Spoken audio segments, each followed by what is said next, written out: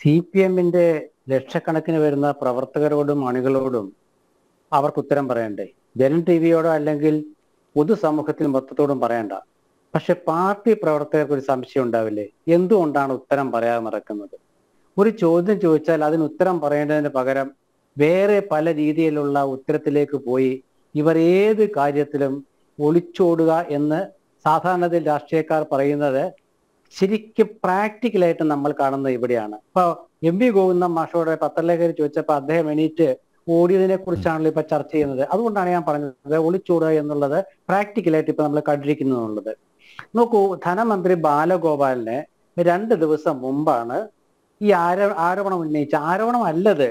ഇത് ആദായ നികുതി വകുപ്പ് കണ്ടെത്തിയ ഒരു ഒരു വസ്തുത. ആ വസ്തുതയെ കുറിച്ചാണ് ചോദ്യം. അതിനെക്കുറിച്ച് ശ്രീ മാത്യു കുഴൽനാടൻ കഴിഞ്ഞ ദിവസം ധനമന്ത്രിക്ക് പത്രലേഖകരുടെ മുമ്പിൽ വെച്ചിട്ട് ഒരു ഇമെയിൽ അയച്ചു. അദ്ദേഹം ഇന്നാണ് അതിനെക്കുറിച്ച് അന്വേഷിക്കാനായിട്ട് നികുതി സെക്രട്ടറിക്ക് പരിശോധിക്കാൻ കൊടുത്തു എന്നാണ് പറഞ്ഞത് അപ്പൊ നോക്കൂ അയച്ചതെന്നാണ് വെള്ളിയാഴ്ചയോ ശനിയാഴ്ചയോ. നികുതി സെക്രട്ടറിക്ക് പരിശോധിക്കാൻ കൊടുത്തതെന്നാണ് ഇന്ന്. ഇത്ര വലിയ പരിശോധനയ്ക്ക് ആവശ്യമുണ്ടോ? എന്താ ചോദ്യം എന്താണ്? ഒരു കോടി എഴുപത്തിരണ്ട് ലക്ഷം രൂപയ്ക്ക് ജി എസ് ടി അടച്ചിട്ടുണ്ടോ? ഉണ്ടെങ്കിൽ അതൊന്ന് പറയുക. അപ്പൊ സി പി എമ്മിന്റെ പ്രതിനിധികൾ പറയുന്നു ഇപ്പൊ അഫ്സൽ മാത്രമേ പറയാത്തുള്ളൂ. ബാക്കി എല്ലാവരും പറയുന്നത് എന്താ? നികുതി അടച്ചു നികുതി അടച്ചു. ഏത് നികുതി എന്നുള്ളതിന് ഉത്തരവില്ല. ഏത് നികുതി എന്നുള്ളതിന് ഉത്തരവില്ല. മാത്യു കുഴൽനിറം ചോദിക്കുന്ന ഇത്രേ ഉള്ളൂ.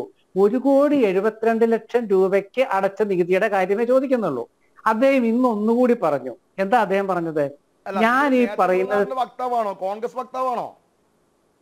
അല്ല ഞാൻ പറയട്ടെ അവിടെ ഒന്ന് ബഹളം വെക്കാതിരിക്കും അവിടെ ഇരിക്കെ. എന്നെ അറിയാത്ത അഫ്സൽ എന്നെ അറിയാത്ത ഒരാളല്ലല്ലോ നമ്മൾ കുറെ ചർച്ച പങ്കെടുത്തതാണല്ലോ. കോൺഗ്രസിന് ഒരു പ്രതിനിധി വേറെ ഉണ്ട് ഇവിടെ. അതാണ് പ്രശ്നം. അല്ല ഞാൻ എന്താ പേടി എന്താ പറയുന്നതിൽ? ഞാൻ പറയുന്ന പറഞ്ഞിരുന്നേ. കോൺഗ്രസിന് വേറെ ആളുണ്ട് കോൺഗ്രസിന്റെ ആൾ പറഞ്ഞല്ലോ ഞാൻ പറയുന്നത്.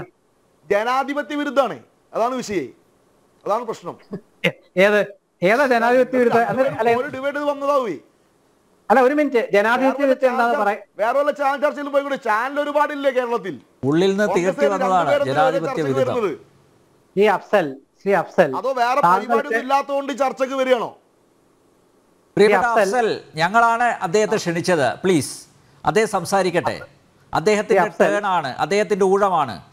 അരമണിക്കൂർ നിങ്ങൾ നിങ്ങളൊക്കെ. സംസാരിച്ചല്ലോ. അദ്ദേഹം പറയട്ടെ. നിങ്ങളെ നിങ്ങളെ സഹിഷ്ണുത കാണിക്കൂ. സഖാവേ സഹിഷ്ണുത കാണിക്കൂ. പറയട്ടെ.